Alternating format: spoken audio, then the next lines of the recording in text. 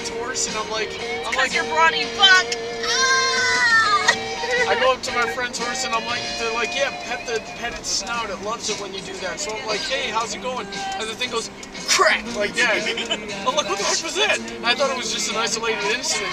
And then I'm playing uh, donkey basketball my senior year in high school, which is exactly what it sounds chicken in the like. the What the? road. F- Oh my god, I think it's stuck.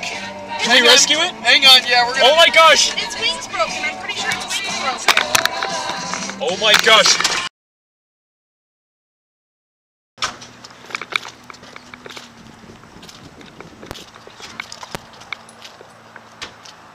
Hey, little fellow. How you doing? You all right? Are you hungry?